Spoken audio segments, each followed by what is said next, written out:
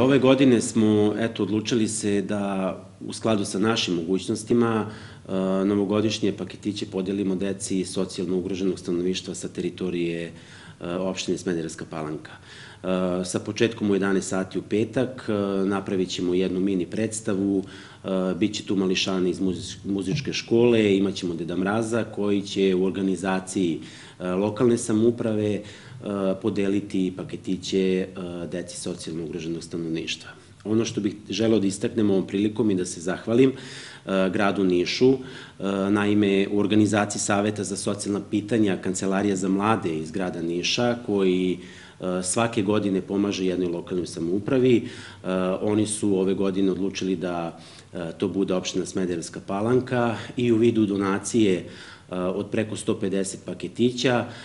Oni će učestvovati znači, zajedno sa nama u petak na dodeli novogodišnjih paketića, opet naglašavam, deci socijalno ugroženog stanovništva. Ono što bih takođe napomenuo, da svi oni koji imaju pravo da prisustvuju i koji će biti prisutni, će biti pozvani od strane Centra za socijalni rad iz Smederevske palanke, koji će obavestiti roditelje i ta deca će u petak biti ovaj, zajedno sa nama na dodeli paketića. Preko 300 dece je ukupno ono što mi imamo na spisku.